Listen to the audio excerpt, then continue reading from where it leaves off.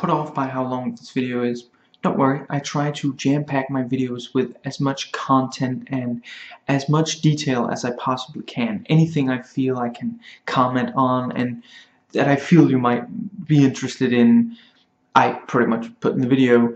I try not to repeat myself and talk fairly fast. If the video is too long for you, I have recorded a shorter version and the link will be in the description box. I got this either as a present or I got it on discount, so I did not pay very much money for this and am thus not bitter on account of that. Fear 2 DLC Reborn. You take on the role of one particular replica soldier and Paxton Fettel psychically PMs you with new orders. And I shouldn't I shouldn't give away what, but you do accomplish something in this. Yeah, by by the end of this you will have accomplished something. Paxton Fettel is pretty much the only character in this. You know, the others vary in how much, how many and how detailed the characters are, but yeah, here it's only him.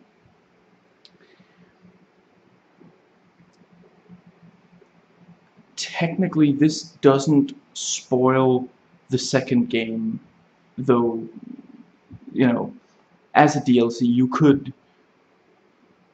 yeah, you, you could play this before the second game, so maybe that's what it it didn't really need to spoil the second game either.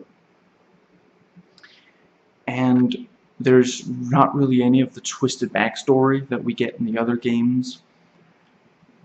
It does take place over a short period of time as the others do, and it's set during the second game others have noted it's basically like an interactive movie. You know, you'll have these very early on, for example, you'll have these airstrikes going on in front of you, and they look okay. And, you know, very clearly, you know, pre pre-programmed. It's not in response to you, like, you know, you go to a place and then they try to bomb that. And and as, as others have noted, you're basically shooting everything in sight. There are no cool, dramatic, in-engine POV cutscenes. There are times where Alma takes something of an interest in you. Some have said that the plot doesn't really make sense. I do think that there are certain elements of it that don't really make a lot of sense. But, you know, on the whole, it basically makes sense. It, But, yeah, there are definitely issues. The name of the game is lame. This is very, very lame. It's very much a discount version of the full game, somewhat similar to Whistleblower and other DLCs. But Whistleblower does have some that, you know, some stuff that you don't get in the main one that's pretty cool. And this, before the third game, there was this that allowed you to play as the antagonist, similar to opposing for, force for Half-Life. And this is actually canon, though, you know, the, the DLC for the first one were, you know, made not canon. And actually, if you don't play this, when you play the third game, there's a really big question that you're left with for the entire game, and they really could very easily have answered it. Not everyone's going to get a DLC, especially one that gets as deservedly negative a reception as this one. And really the, the levels are the only new content. And the, the GUI has been slightly redone and it just makes it hard to read as others have noted. It's somewhat similar to Alien vs. Predator 2 Primal Hunt. This took me an hour and a half to complete and there were times excuse me where I died from because I basically wasn't quite prepared. Suddenly a situation would shift, or as others have noted, sometimes you'll die because you're standing in the wrong spot for a cutscene, and yeah. I could I could have shaved at least 15 minutes, not quite half an hour off, if I hadn't, you know, incurred any of that. And it would appear that others have incurred more than I did. So, yeah, it might take longer. But, yeah, that's very much too short. And this does have a climax. Not really a boss fight, but a climax, which, you know,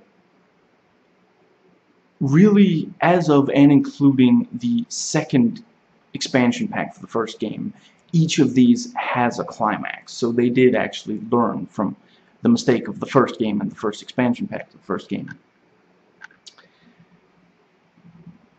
Now, you are Foxtrot 813, or Fate in Leetspeak, and Effet if you read it fast. At first, I was like joking when I noted those, but then I got to thinking, considering the tone of these games, that's probably entirely intentional.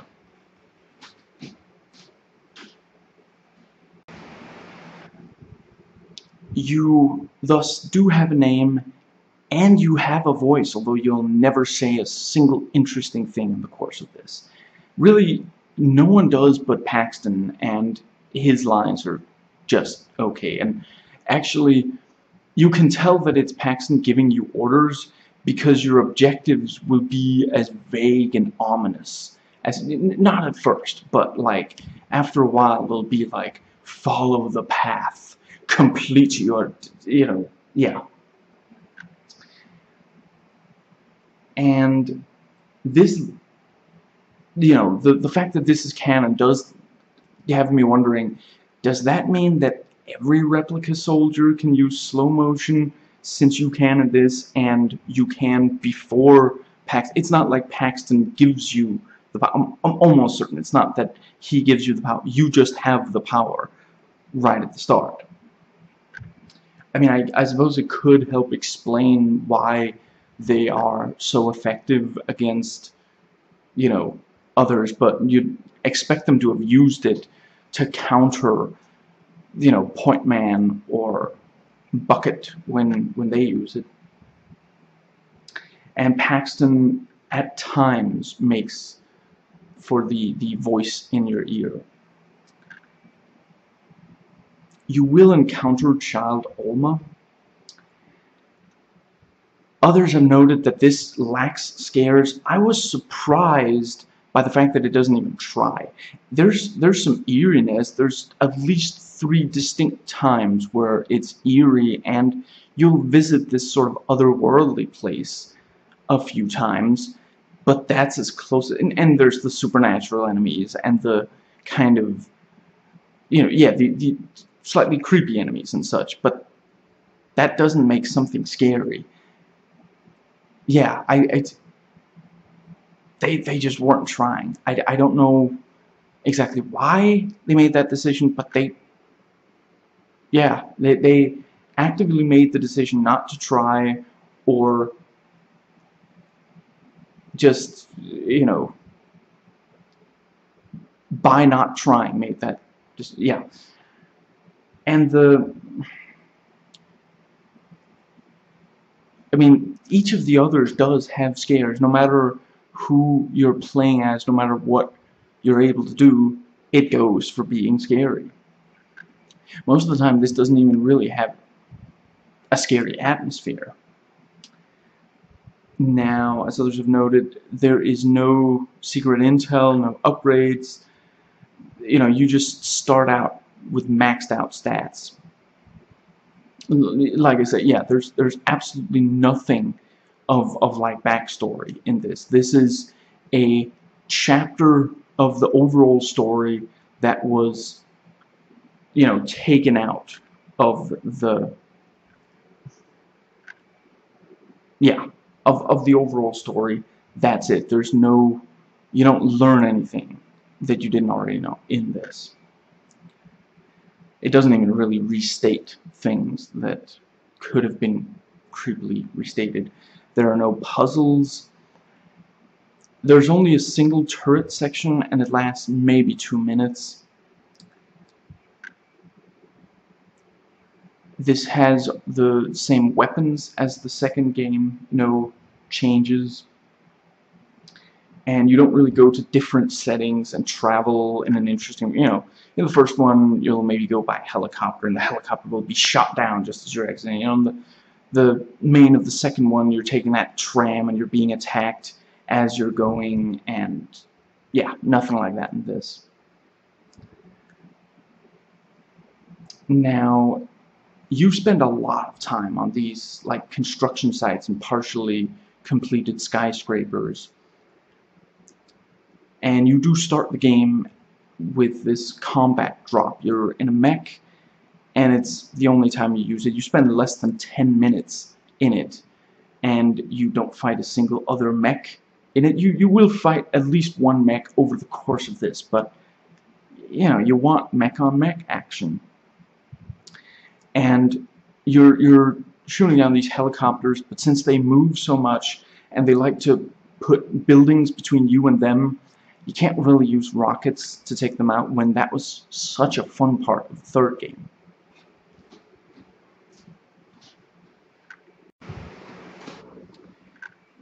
as you walk around the mech suit you will walk onto these wooden sections that will then collapse under your weight and that's how you kind of proceed through it. You know, that's the kind of point of no return and then you're walking around a new segment. It's kind of dumb. And so one thing that the the developers did note that they tried wanted to try to do here which I do think they succeeded recently in was make the levels more vertical and open compared to you know the the rest of these games. And yeah I, I don't necessarily think that, that was the most interesting thing to do but it's definitely the the you know I mentioned these you know airstrikes. The the areas are simply not you know you you can't quite see far enough away and yet it be close enough in the other ones. I would say that the airstrike visual, you know, while you are, you know, running around and you're you yourself and, and turning the camera, you know, it's it's the Half-Life kind of cutscene. It it moves independently of you, and you know you have to. You, you're the one. It's it's happening while you're in control of the character. Now, some have turned out to point out that the overturned building level's kind of cool, but you spend maybe two minutes in the overturned building section itself. There's this one bit where you are weaponless for just a few seconds. It's it's the classic, you know, oh, you had to jump from an elevator or something, you know. You so you lose your weapons, and you you get another weapon within seconds. It's completely pointless. They might as well have just left you the pistol or something.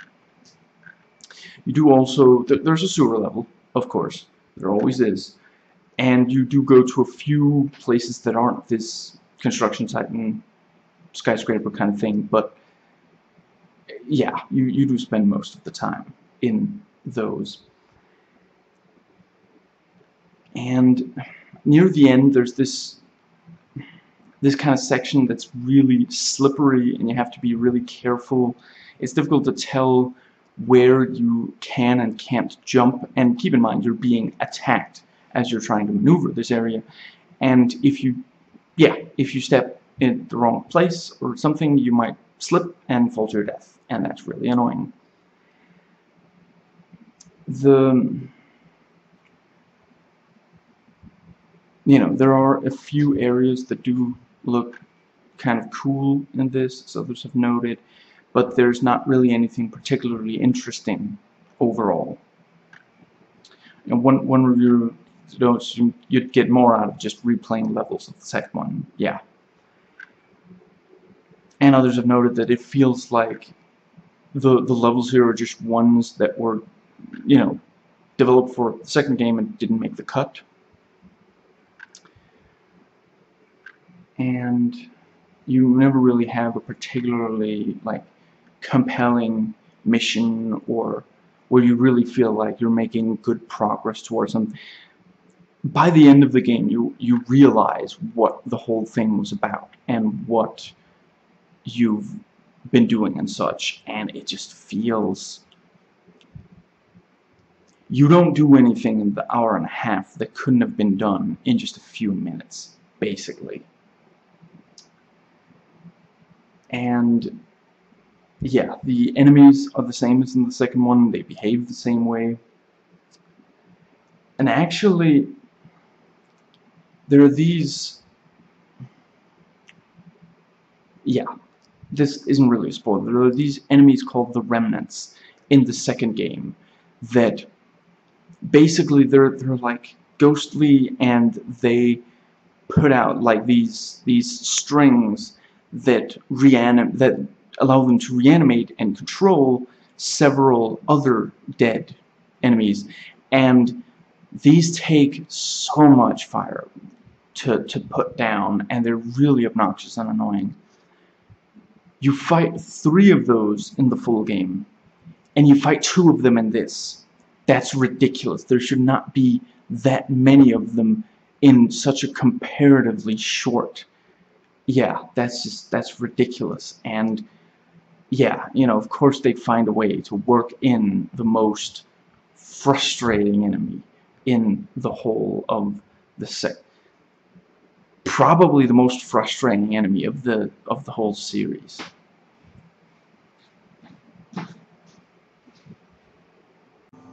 I've reviewed other parts of this franchise, the links are in the description box. Please comment, thumbs up, and subscribe for more content.